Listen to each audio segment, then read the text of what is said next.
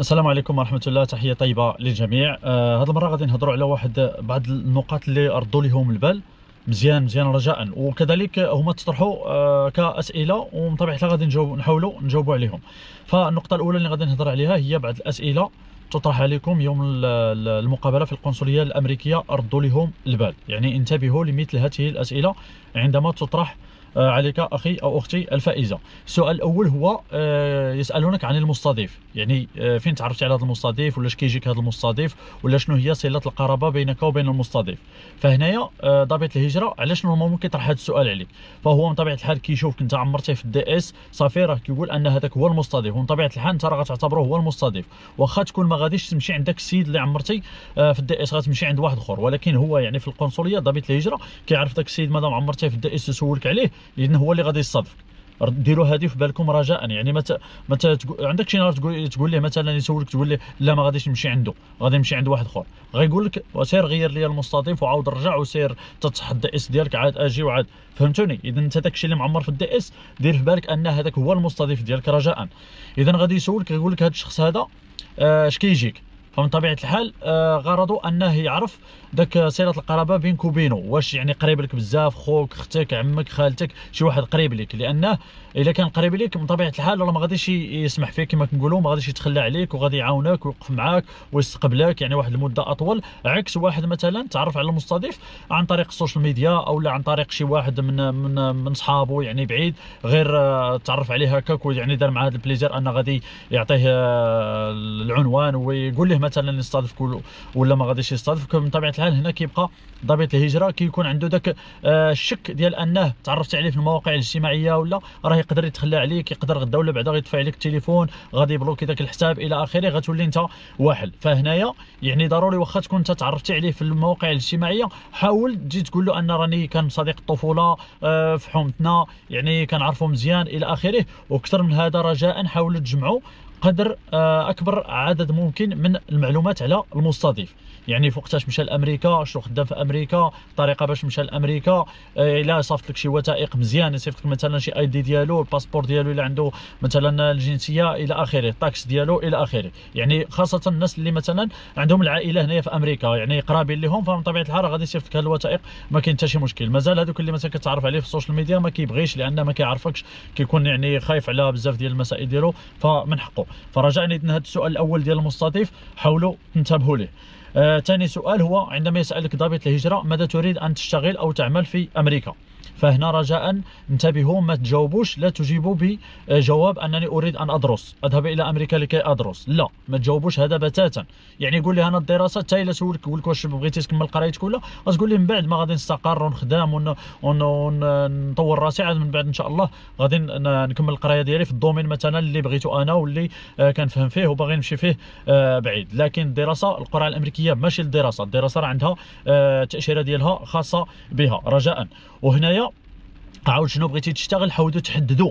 تحددوا شنو بغيتي تشتغل. أنا مثلا غادي نمشي لأمريكا غنشتغل في المطعم أنا غنمشي لأمريكا غنشتغل في ال في ال في ال IT أنا غنمشي لأمريكا غنشتغل مثلا في ال في ال في الأوتيل. أنا غنمشي غنشتغل مثلا مع امازون غادي نشتغل مع ديليفري آه، غادي نشتغل في ال constructions غادي نشتغل إلى آه، إلى آخره. يعني حدد. ماشي غتقول لي غنمشي نشتغل فاش ما جاب الله فاش ما كان.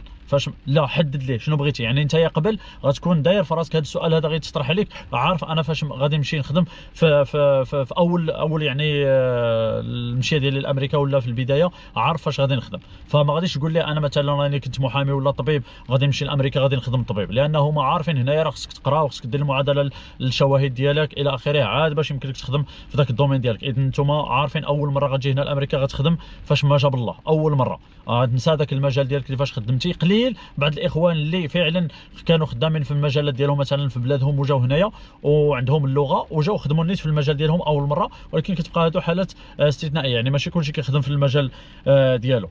هذا من جهة. من جهة ثانية السؤال آه، الموالي كيسولكم ماذا فعلت بعد حصولك على شهادة البكالوريا؟ يعني هنايا بالضبط رجاء في هذا السؤال هذا. حاولوا تفادوا أنكم تجاوبوا ما درت حتى شي حاجة.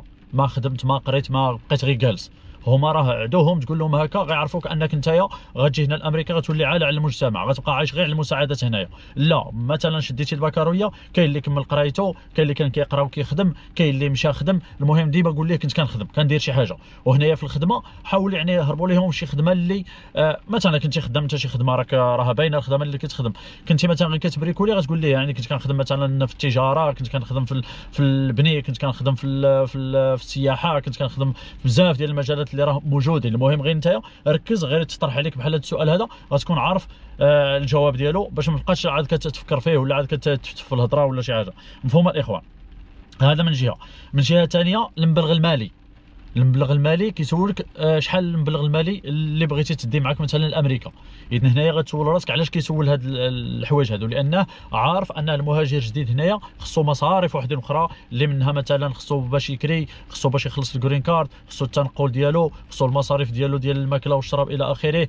لأنه مازال يقدر أول مرة ما غيلقاش خدمة في ذاك الشهر الأول ولا الشهر الشهر الثاني. فضروري خصو شوية ديال المصاريف باش على ما يوقف على رجلو وخاصة مثلا آه، المستضيف اللي يقدر مثلا غادي يستقبلك واحد شهر ولا شهرين ولا لأن شحال شي بعض المرات كيسولوهم شحال شحال المدة اللي بغيتي تجلس مع هذا المستضيف. واش مثلا تجلس معاه 3 شهور واش 6 شهور واش 7 شهور واش واش واش واش فهمتوني؟ اذا هنايا ضروري كيعرف داك المبلغ هذاك واش كافيك على حساب الولاية فين أنت بغيتي تمشي ليها. لأنه عارفين انت هما ضباط الهجرة عارفين راه كل ولاية المعيشة فيها كي دايرة واش غالية ولا رخيصة ولا شوية ولا إلى آخره. فمن طبيعة الحال شحال ما قلتي ليه المبلغ يعني طالع مهم. كيكون يعني في صالحك انت يعني كيقول هذا راه داي معاه الفلوس مزيان ما يخاف حتى من شي حاجة. زيد عليها أن ذاك المستضيف حتى هو راه كيلعب دور مع الفلوس اللي غادي تدي معاك. يعني إلا كان عندك المستضيف قريب من العائلة ودي معاك فلوس بزايد فصافي كيقول هذا السيد يعني راه عنده الأمور آه، بخير وعلى خير. صافي الإخوان ثاني آه حاجة اللغة. بعض الإخوان سولوا واش إلا هضرت باللغة الإنجليزية. هذا راه امتياز آه، لي زعما غيكون عندي افونتاج إلا هضرت باللغة الإنجليزية يوم المقابلة. من طبيعة الحال الجواب نعم.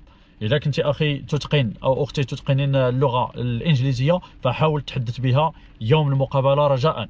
رجاء. راه كتربح واحد نقول لك 90% ديال الأسئلة إلا هضرت إلى دويتي وهضرتي باللغة الإنجليزية. كتوفر عليك بزاف ديال الأسئلة ما غاديش تطرح عليك. ومن طبيعه الحال راك جاي لأمريكا كيعجبهم هما الحال إنك تهضروا معاهم بالإنجليزية وفرتي عليهم وسهلتي عليهم الطريق.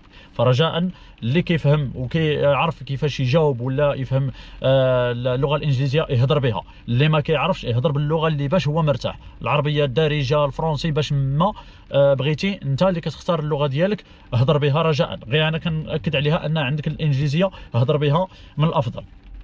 هنا هادو هما آه فيما يخص الأسئلة.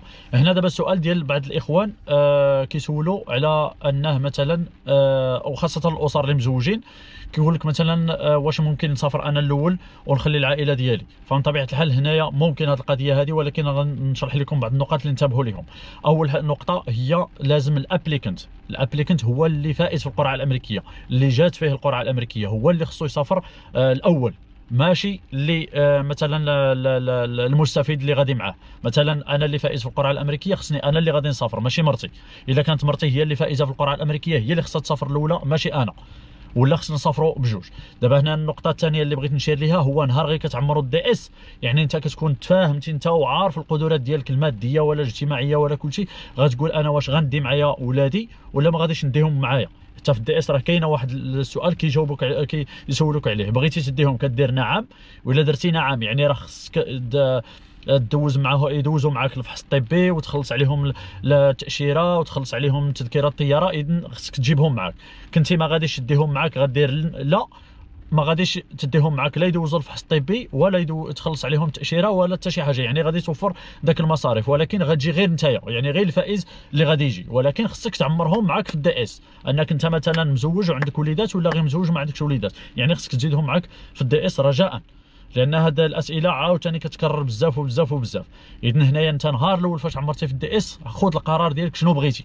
واش بغيتي تجيب معك ولادك أو لا ما بغيتيش تجيبهم معك لأن كل واحد الظروف ديالو أنا هضرت على الظروف المادية ولا الاجتماعية. يعني بصفة عامة آه، الظروف المادية هي اللي كتكون شوية كتجي عليك بزاف عليك باش تجيب ولادك وبزاف عليك المصاريف إلى آخره. فالله يحسن العون كل واحد. فهنايا يعني خذوها في بالكم هاد جوج النقاط. اذا ال applicant هو اللي كيسافر الأول وفي ال DS عندك الحق تختار واش تجيبهم معك ولا ما تجيبهمش معك باش تشوف أنت واش آه، توفر المصاريف ولا غتزيد عليك المصاريف. آه هذا من جهة. من جهة أخرى المواعيد ديال الطبيب. تواصلوا معايا بعض الإخوان أنه آه، الدكتورة برادة والفهري وقيلا غيخرجوا congé شهر ربعة والأخرى غتخرج congé في شهر آه، خمسة.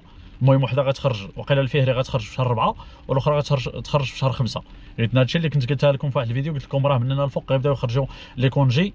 آه غيكون شوية ديال الضغط وغيكون شوية ديال المشاكل باش تاخذوا rendez-vous آه ديال الفحص الطبي فهنا رجاء نقولها عاوتاني للمره ما شحال. آه عادي. واخا تاخذوا ال rendez-vous ديال الطبيب بعد ما دوزوا المقابلة. يعني حتى دوزوا المقابلة عاد تمشيو تاخذوا آه دوزوا الفحص الطبي. ما كاين حتى شي مشكل رجاء. ولأن ثلاثة الأطباء في المغرب هادشي اللي كاين. ما تمشي غير في مشاكل الله. سير مع السهله كما كنقولوا. فهمتوا دابا الإخوان؟ واللي استطاع ياخذ ال rendez-vous قبل الموعد ديال المقابلة ما كاين حتى شي مشكل. آه، في انتظار إن شاء الله آه، يدخلوا عاوتاني الأطباء آه، في شهر 6 وشهر 7 و8 المهم غتكون الأمور بخير وعلى خير. لأن كنت قلتها لكم قلت لكم راه في رمضان كاين اللي كيبغي ياخذ congé ديالو في رمضان. فمن طبيعة الحال من حقه. صافي الإخوان وكذلك غير حاولوا غير حاولوا غير بالتليفون غير تبقاو غير تصوني وتصوني وتصوني وتصوني. لأن راه كما قلتها راه ماشي غير أنا مثلا اللي كنصوني راه تصوروا مثلا واحد 100 ولا 150 واحد جاه الموعد راه كلشي كيصوني. عاد زيد المرضى الاخرين اللي كيتصلوا بالطبيب كيبغيو يستشروا ولا ياخذوا rendez-vous باش يجيو. كما قلت لكم راه الطبيب ما كيخدمش غير مع الناس ديال القرعه الأمريكية. كيخدم مع آه، كاع ال clients ديالو كما كنقولوا. فهمتوا الإخوان؟ اذا غتبقى تصوني وتعاود تصوني وصوني وصوني. ديروهم شغل. ديروا الأطباء شغل. واحد النهار تاخذوا الرونديفو هادشي اللي كاين الإخوان. نتمنى التوفيق للجميع إن شاء الله. آه كما يحييكم. السلام عليكم ورحمة الله.